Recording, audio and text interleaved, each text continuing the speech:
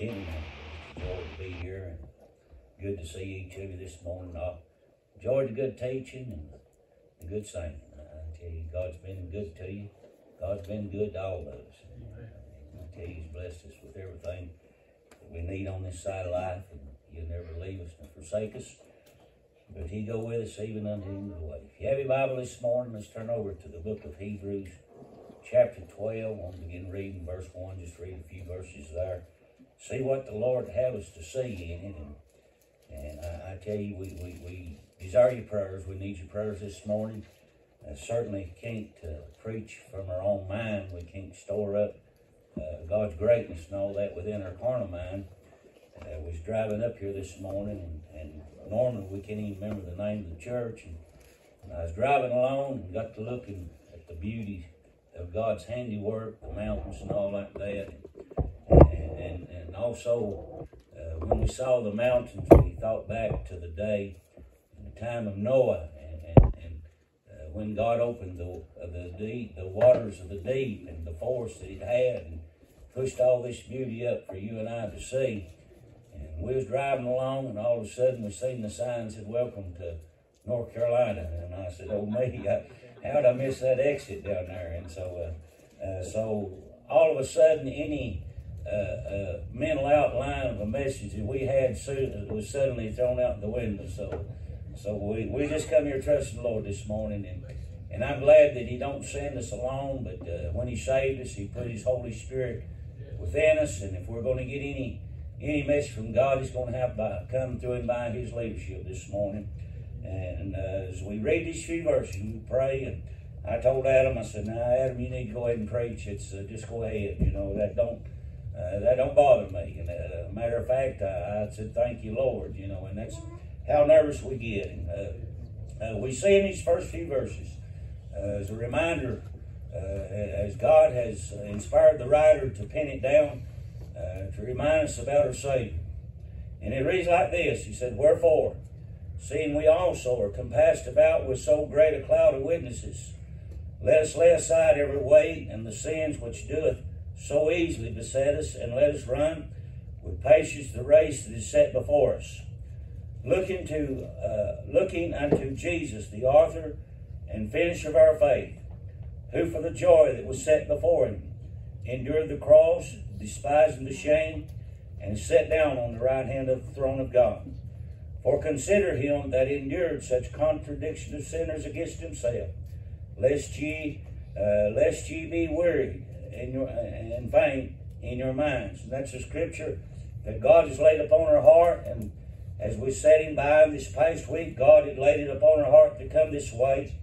And uh, uh, for nothing else, just to see our brother Adam, fellowship with him and the church this morning. And like we'd already said, uh, it's already been a blessing to be here, seeing the children to get up and sing. And, and every time I look in the face of a child, I get a glimpse of the face of God. And uh, looking at their purity and their innocence, uh, but knowing all at the same time, we are all born into this world and we're all sinners when that we become and when we come to that age of accountability knowing what sin is, also coming to know the gospel message, how that God loved us so that he sent his son into the world to die upon that old rugged cross. But we got to thinking about our brother. This scripture had come upon our heart. We began to read and, we began to think upon it and try to meditate upon it and to see what God would have us bring this way. But now we know this morning that Jesus, He is the Christ, the Son of the living God. Uh, uh, and we know He's the only one this morning. And, and God sent Him, and God loved you, and He loved me. And as many had said throughout times, that if I'd been the only one, or if you had been the only one that had ever sinned on this side of life, God would have still sent Him. And that's the depths and the heights of God's great love this morning. But now I thought about our Savior, and, and I tell you, you'll find no better friend you'll find no better uh, one to walk with you day in and day out. Amen. And I know on this side of life, as you and I, and especially in these modern times in which we live and we're seeing uh, what is in the world and what's taking place, I tell you, I'm glad this morning that I not only can call him Jesus, I can call him friend this morning, Savior and Lord. But now here as a writer, now we know that all scripture this morning is given by the inspiration of God. And we know this morning that these men, and the Bible will also tell us that uh, men didn't just sit down and begin to think, well, what they had seen, and I need to write this down and keep a record of it. But no, they was inspired by the Holy Ghost. And it might have been the hand of man that the pen was in. But I tell you, as we look and them being led by the Holy Ghost and the Spirit of God, it was oh God Himself setting down and pinning down within these uh, this Bible that we have uh, His love and, and what He wants us to know and what He wants us to hear. And so here we see that uh, the writer pinned down and he began to think about the great cloud of witnesses there that has uh, that were compassed about. Now you and I, we didn't live in that day and time, but it's been handed down for two thousand years uh, there for you and I to hear. And men, they'll stagger at it and they'll doubt it, and even some will say there's nothing to it, but it is. It's real this morning, and He's alive, and, and this is Jesus this morning when I open it up and I begin to read and I begin to look and I not only see the word, but I hear the voice of my Father in glory uh, writing me a love letter from, uh, from uh, somewhere. Some might find he's far out there somewhere, but he's here this morning. He is with us. And so the writer, uh, he said there that we're compassed about by so great a cloud of witnesses. And so he reminds us, and I, I don't need a reminder this morning to tell me about what's in this old flesh and to tell me how weak it is and how that it would fail if I let him have his way. But I like that scripture where he said, Greater is he that is in me than he that is in the world. We've got all them out yonder in the world, and many are led by the devil this morning, and,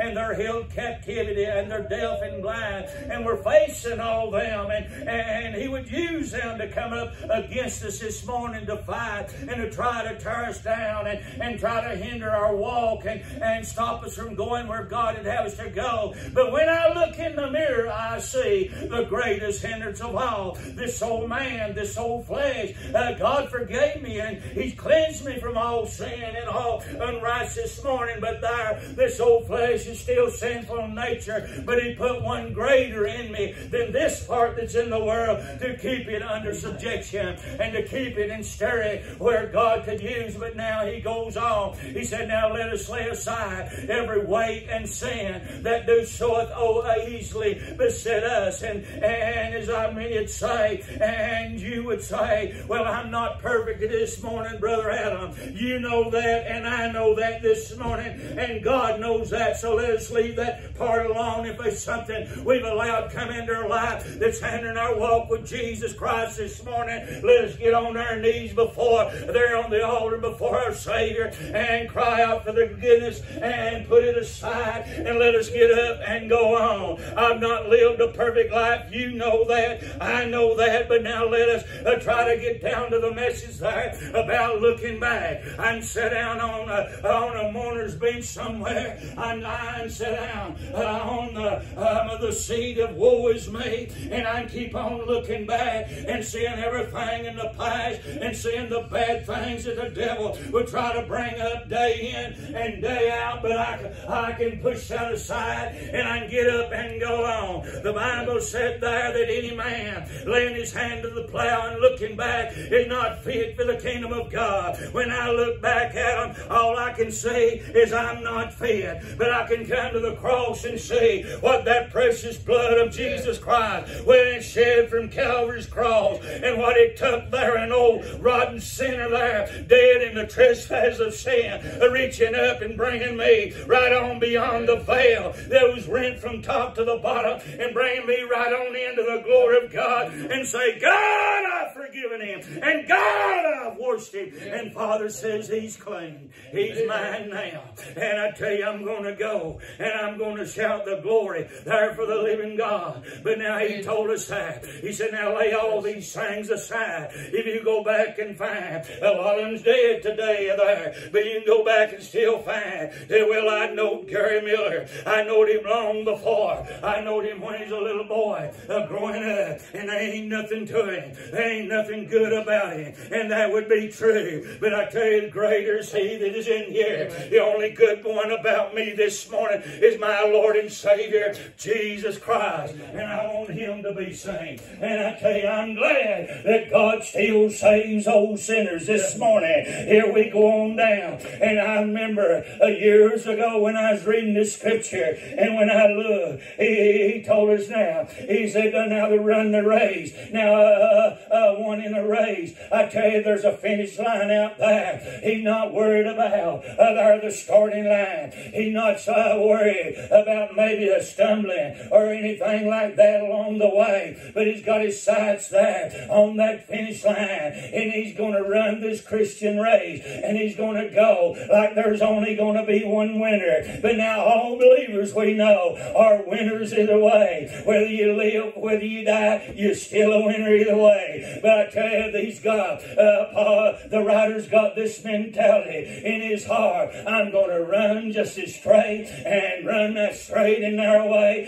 and I'm going to reach the finish line one day. And I tell you, along the way, I want to be able to reach out there uh, on the right, and I want to reach out on the left, and I want to bring as many in for the glory of God and for my Savior there, and lead them along the way to that finish line. But now, he look, now listen, church, uh, you can either uh, be write your own book or you can let Him write it. And I tell you, you can uh, search and try to find, you can try to find faith enough to get you there, and it'll come up short sometime. But I tell you, let the author and the finisher of faith, He started down there uh, when you was a sinner, when you was lost and undone without God, He came and He come to call you. And when you heeded a call and you come on in for the glory of God and you accepted Him as your Savior, it was at that very moment upon the repentance and accepting Him as your Savior, God took that book of sin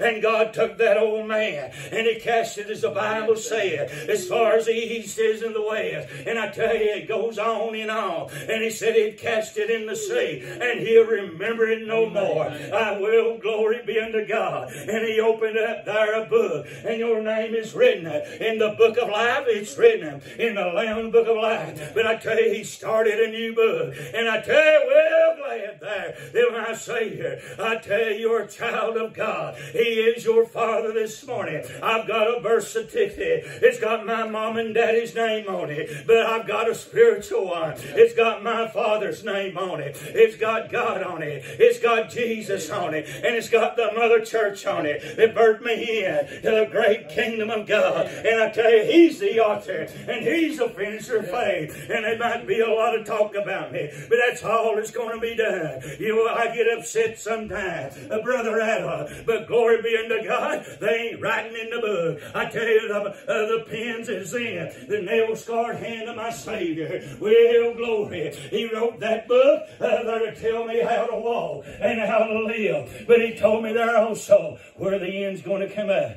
and the finish line's at. One no glorious day. I know He's coming back, and I watch for Him day in and day And if, uh, if He's not come to call the church, for my time runs out down here, I tell you, He's going to come call me, and I'm going to step out and over in glory. Uh, some say, well, you're going to have to go there in the grave. I tell you, all they're going to put in the grave this old man, this old outward man that is corrupt and is going to corrupt away. But glory be unto God, He ain't going to forget me. my, my, my heart, my soul, my spirit, will be over there with Him. To be absent the body is to be present with the Lord. But that old man, he still ain't going to forget Him when He formed us up from the dust of the ground. Yes, it'll be buried in corruption, but one glorious day, it's going to come out of there uncorruptible, a new glorified body. And it's going to be, as one writer said, he said, I don't know what that body will be, but I do know that when he shall appear, he said, I shall be like him. Will glory.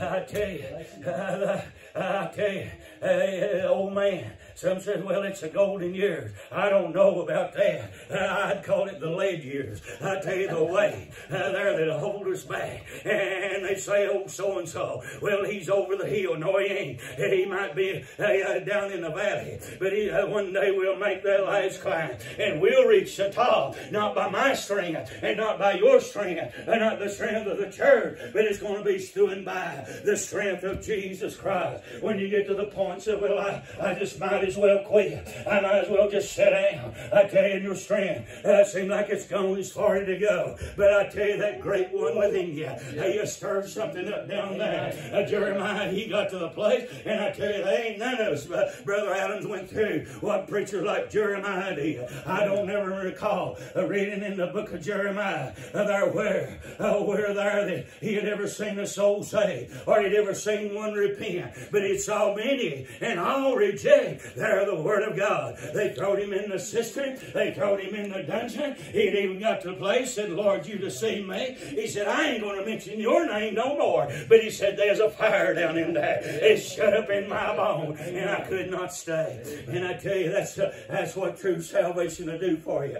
Uh, you might sit down and say, I ain't going back uh, there that church no more. But I tell you something to begin to stir down there. Uh, there, and you uh, may sit down at the house of God. Usually you might get to thinking, so well, ain't nobody cares about me. Ain't no never need of me going down there. I tell you, that's just old level of putting them things in your mind. And I tell you there, I tell you, great. He's great this morning. Uh, Jesus, and I tell you, uh, we think about the mourner's bench sometime. And as we're going to read just a little bit further, I got to thinking this morning, we got a mourner's down beach down there. Well, ain't we got a joy bench? I tell you somewhere, we, we, we, we got the mourner's and we come to mourn and shed tears uh, uh, over ourselves sometimes, and most of all for our lost people. But I tell you, there need to be a joy bench down there somewhere. Uh, uh, uh, that oil in that bottle right there, somebody had to squeeze that out. And I tell you, we'll get where we need to be. We get on that old joy bench and they'll begin to squeeze, and the oil of gladness will begin to come down and get way up there in her eyes and begin to run down her face. Uh, that's what we need down to the house of God uh, to recognize and to realize the gift that God has given unto us this morning and how much it is neglected.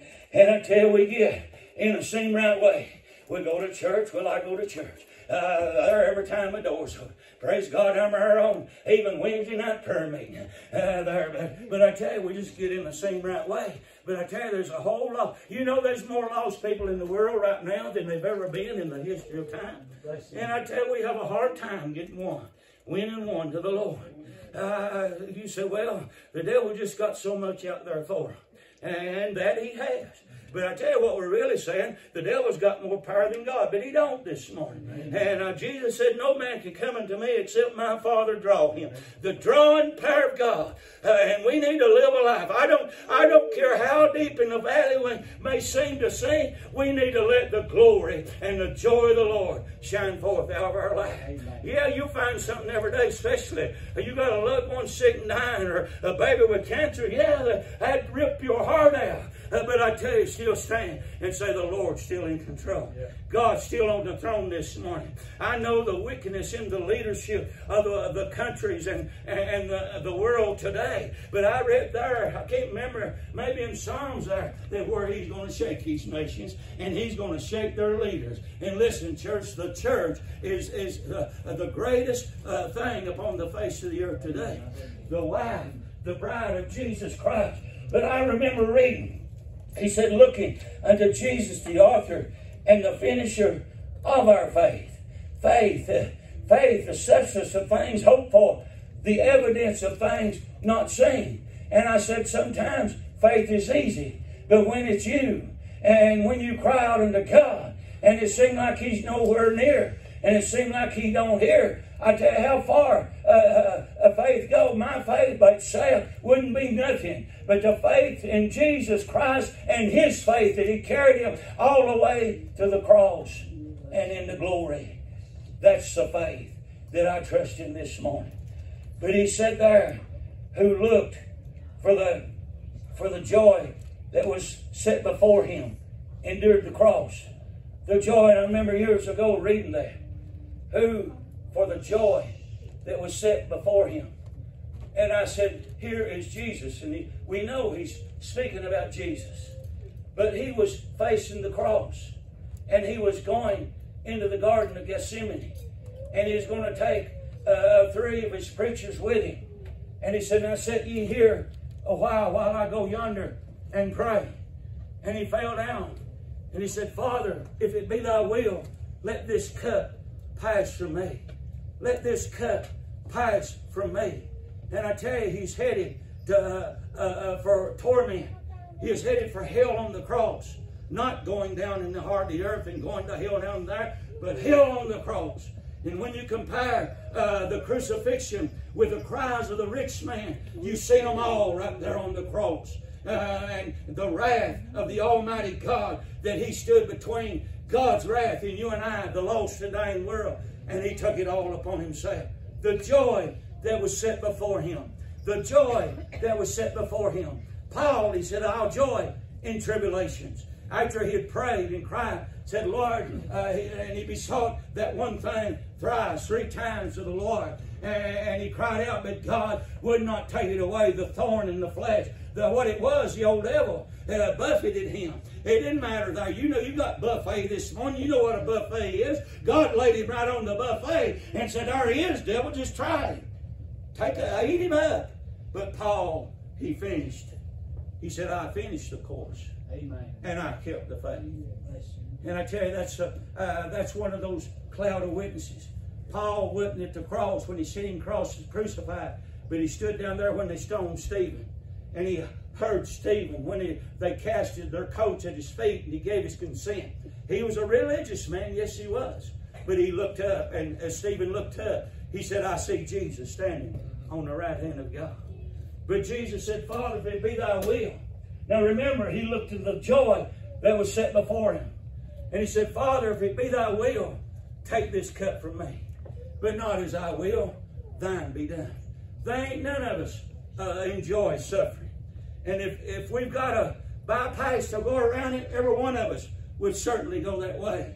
But sometimes God leads you right down that path, right into it.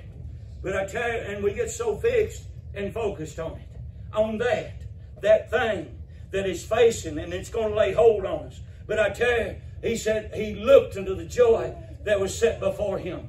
And you and I, it's not what we're going through today. It's what we're going to get to experience when it's all over. And I tell you, old age, I tell you, I've got aches and pains in places I didn't even know I had the places these days. I can't walk very far. Uh, if I had to run from a bear, I'm in trouble because he's going to get me because uh, I can't get away. But I tell you, I got one uh, on our side this morning, and he's in us. He said, I'm in you, and you're in me, and we're in the Father. But Jesus there, he said, Father, three times he cried out. Each time he went and he found the apostles asleep.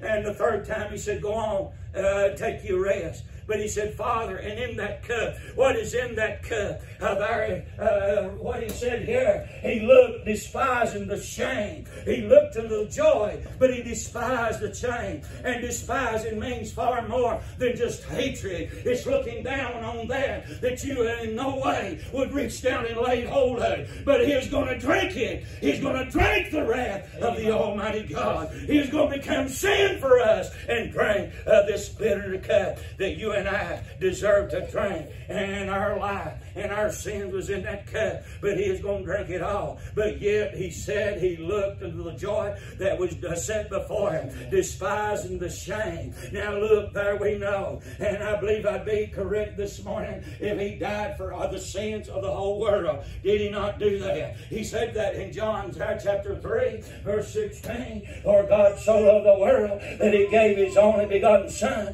that whosoever believeth in him should not perish but have everlasting So that uh, included everybody, did it not? From Adam right on down to the life that is being born. But yet God sent his son to become sin for you and I. Yet himself he did not sin. And I tell you, but he took mine and he took yours, despising the shame of the cross. Now you and I, yes, some might say, well, I'm not I, am not a very a bad person, but sin is sin. If I wanted all you've been created, uh, made throughout life, uh, that would got you lost. And I tell you, we was all lost before we got saved. These children sitting here this morning, if they've not been saved yet, when they come to the age of accountability, they got to realize that it ain't mom and dad anymore that's accountable, but it is them that is accountable for sin. And it's them that need a Savior this morning. But now let us look. Uh, now we got the modern days and times that we, we've got coming along. Uh, and I tell you, God has been good to us. He's been good to me. I've got a fine house down there. It might not be what a lot would like to have, but I tell you, it's a, a, a brick house there. And, and, I tell you, it's a lot better than what we started out when me and got married. We, uh, we moved in to a little old two-room shack. Daddy owned there, and it's all leaning one way. Looked like it was fall any time. When the wind blows, the curtains would stand out away from the windows, and we had that outdoor uh, thing down behind the house. You know, you had to run down there. But I tell you, uh, but we've got them right in our own house. Some's got two or three or, or one in each every bedroom. Ain't God been good to us? And I tell you, there, there's a time that we went down to the house of God. Uh, they had them little fans there, and, and uh, the women get them, the little children get them. Hey, if you just sit down close to them, you get some wind on. The old preacher preaching, and I tell you, he's soaking wet in just a, a few moments when you get up to preach. Ain't God been good to us? Oh, yes, He has. But don't take it for granted because God can take it all away in a moment and in a second. Yeah. You can blink your eyes, and, and before you blink, everything be all right. And that's how quick you can blink, and next time, the whole world, your whole world is turned upside down. And I tell you, God didn't promise. Uh, you know, we hear preachers from time to time. They got them little old sayings, and they kind of put you on the spot what they do. And they'll get up and they say, "Is it hard to live a Christian life?"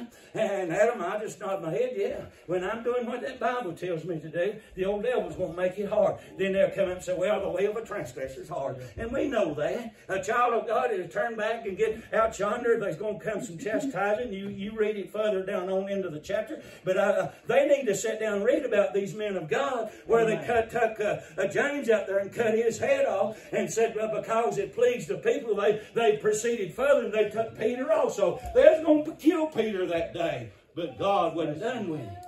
And now God got glory out of James' life, and he got a book pinned down with his hand, uh, and by the leadership of the Spirit, for you and I. We heard from it this morning. And if you if you read through the book of James and say, well, I, it didn't get, I would nothing there get me, uh, you need to go back and read it again. And look, I tell you, well, uh, this old flesh, if you let loose of it, it's going to get wrong.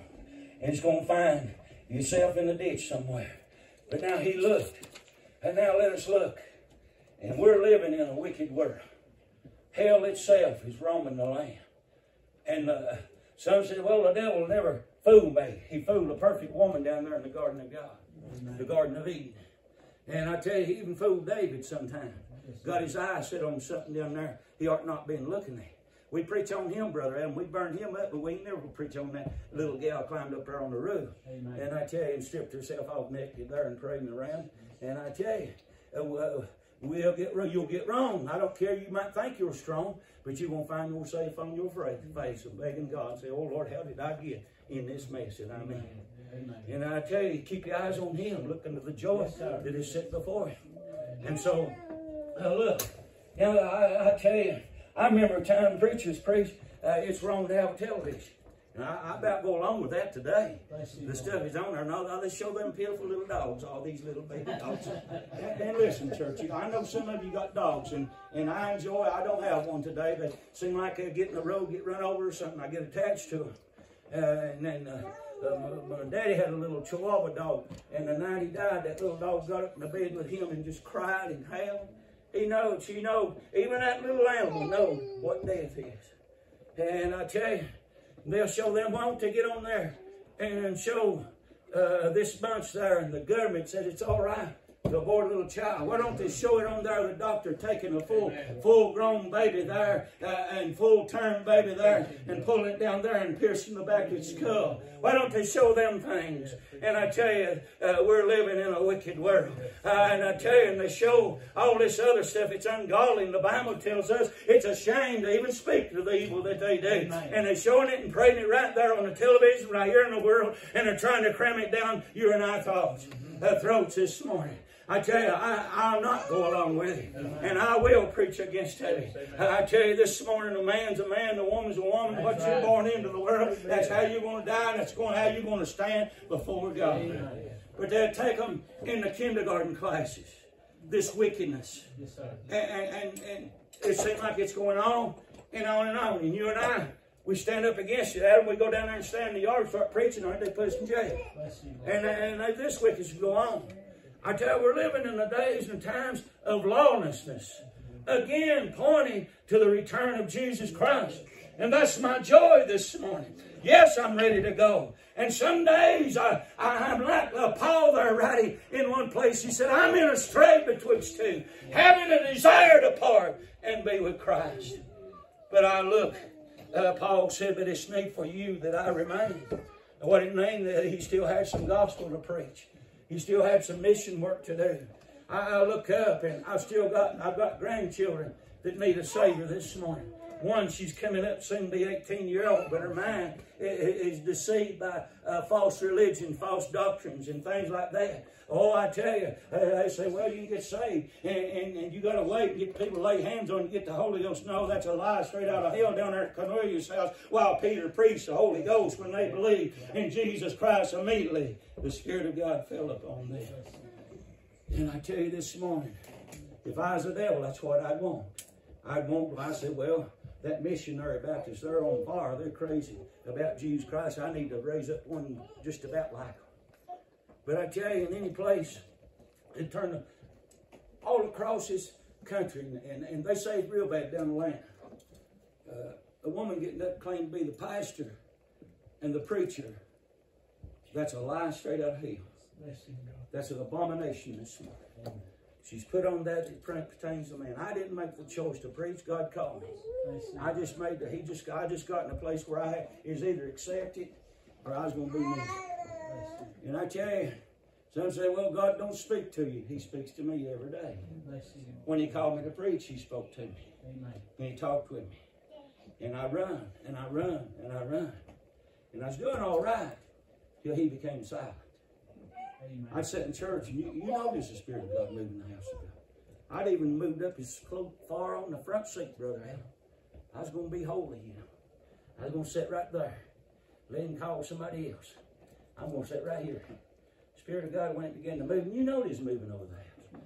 There'd be one sitting beside him, you could you could feel and experience it touching that man, but he'd jump over your head. When a child of God gets in that place, you're miserable. And you're not going to be happy. And you're not going to have the oil of gladness and, and, and joy until you're doing just what He asked you to do. Now, He won't force you. He didn't force me to preach. He didn't force. He said, Gary, that's what I want you to do. That's what I put you on this life to go preach the gospel. But I tell you, it's been so good, uh, Brother Anthony. Now, there's been some wars and battles. Yes, I have. And I've been hurt. Yes, I have. But that's all right. Uh, he didn't tell us we wouldn't get wounded in the battle. But I tell you, he told us there, he's got some oil over there that he can anoint that and, and, and that water uh, start running all over again. But now he looked for the joy that was set before him. But he despised the shame. Now he was taken through this cup and on the cross. He took our sins on himself and he nailed them to that old rugged cross. But he said he looked for joy. He got to the place and down there in the garden. He said, Father, not mine, but thine be done. And it pleased him. God sent him. And I know Pilate down there when he tried. He said, Know you not that I have the power to loose thee or to crucify thee? Jesus said, Thou had no power over me at all, except my Father give it to you in me. So he gave his life. No man took it from him. He gave it. They didn't have to force him down on that cross. He laid down That the Bible said, Cursed is any man that hangeth upon the tree. He took and bore my curse and your curse. And the children here, our curse. So how should we carry him day in and day out? He said, If I be lifted up, I will draw all men unto me. Now he's done been crucified. He ain't gonna be crucified no more. That's what upsets me about these uh, preaching. You lose your salvation. I tell you, but if they lose, if they if they did lose it, they couldn't get it back because there's no other sacrifice. No other. Jesus won in the Old Testament year after year, year after year. They brought a sacrifice. But on that day, on that day, when he looked up and said, Father, it is finished, the price had been paid. And he bowed his head and gave up the ghost. But now, the glory, the glory of God. I've got a little glimpse of it along the way, along the journey.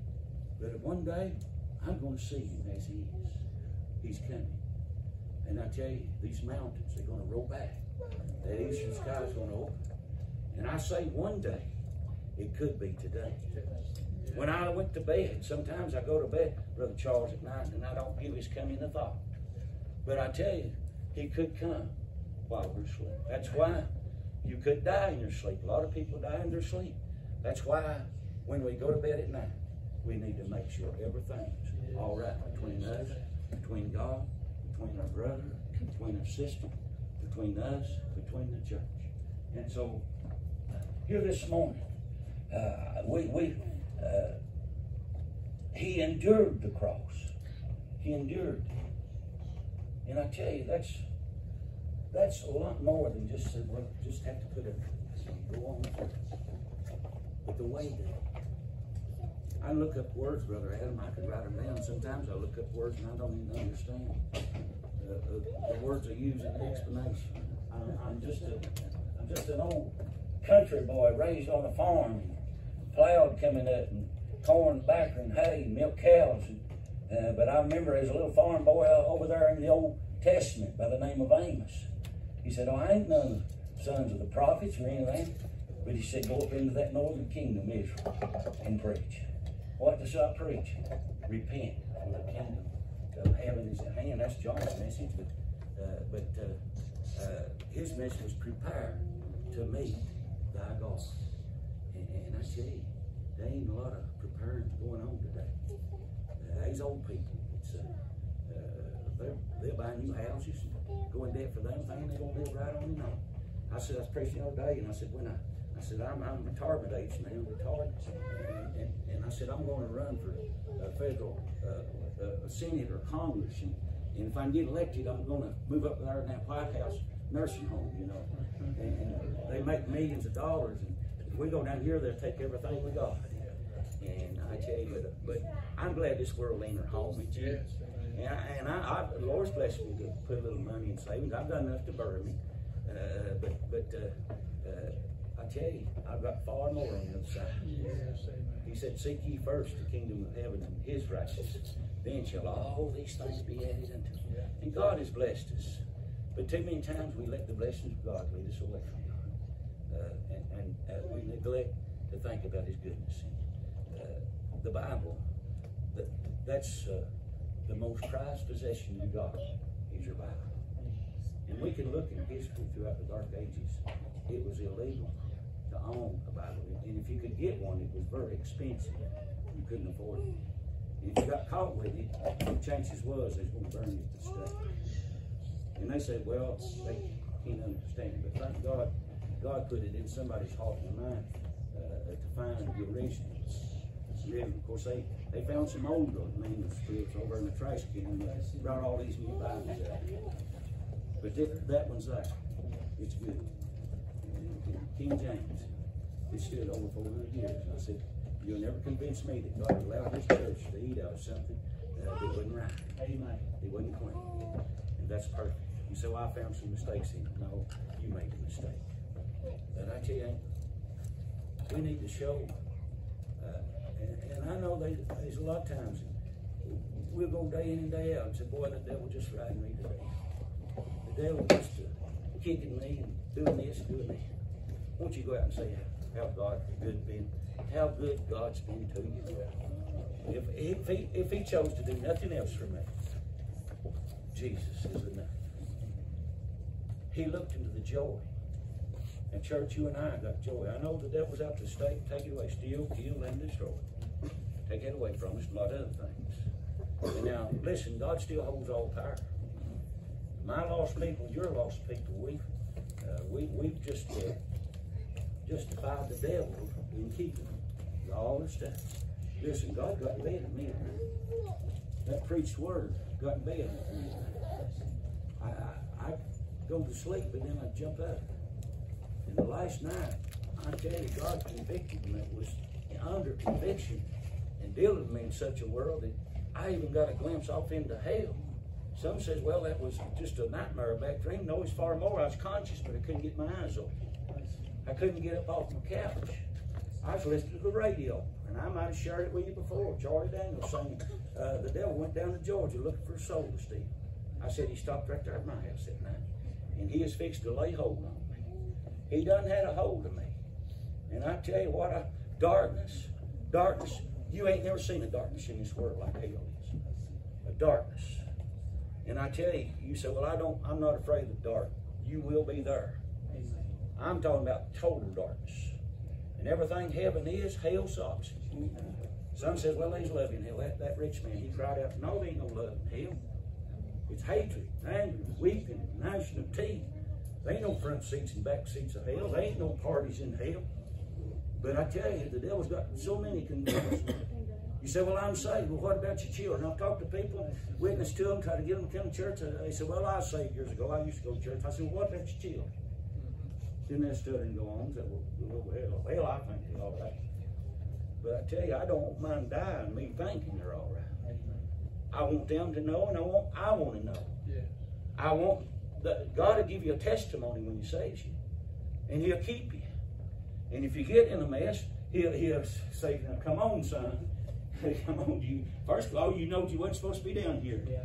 You went against my word. You got and you got seven in this mess. You blame it on the devil, whoever you want to, but you done it. So then come on and just get cleaned up. Open that word up, start washing. Start washing. My natural body's got to be washed. and stink in a short time. But I tell you, in my soul, my spirit, it had never seen. But I tell you, I gotta gotta get cleaned up. Get this flesh back where it needs to be. And let that inner part shine out. But now he looked into the joy that was set before him. And there, and we just touched just a little bit what's going on in the world. Listen, as we mentioned the television, I wish they put on these little boys and little girls. Listen, the Bible calls it, uh, and Lord help me just a little bit, uh, child man stealers, the kidnappings. I wish they put on that Yeah. and show this drug carrier. It's a billion dollar business. That's why it's not being attacked and fighting against by leaderships and governments. They've been paid off. They'll take young girls and they will steal them away, kidnap them, and they'll rape them. And when that baby is born, they'll take that baby and harvest its organs. Now that's going on in our world today, in God's world. But we live day in and day out, turn deaf eye, a deaf ear, and a blind eye to. I don't know what to do about preaching. I don't either. But I know a God in heaven that knows how to stop. it. And I tell you something like that, a, I get my grand, my, my little one, I, I, I get him every day. Uh, all of them, but boy, I get in my mind somebody's gonna get. him. Now you talk about wake, waking up to a nightmare. And these people have. And you don't know when you go right downtown here or, Gatlinburg or Pigeon Forge, the perverts that's eyeing your child and looking for a change. How many's look for a chance maybe to grab hold of yours? But we go on, want to live the good times. But I'm going to tell you, there's one that's kidnapping them away every day. It's old Satan. Little by little. These children, they're going to go down there and put in schools, and the teachers can't teach what need to be taught. They got a mandate, started a few years ago, administration. Hitler said, if I can control the books, I can control the people. And that's what's been happening for the last many years, probably. even in my childhood days. Teaching that evolution. Went through school, uh, eight years. We started in first grade, but went through eight years and did not have one teacher stand up and teach against evolution. But when it come to it, they all it.